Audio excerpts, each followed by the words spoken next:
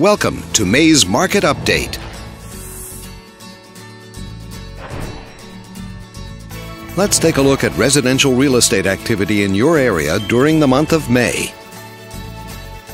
The number of active listings was down 3% from one year earlier and down 3% from the previous month.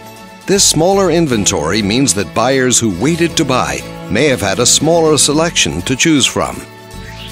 As you can see, the median listing price for the month was just under $270,000. Compared to last year, the average number of days that units spent on the market before being sold was down 8%. This lower number of days may signal a positive trend in the local inventory turnover rate. The median sale price was $230,000. The number of units sold increased 25% year over year and increased 32% month over month. These figures may indicate that buyers have been taking advantage of opportunities in this market. Thanks for watching.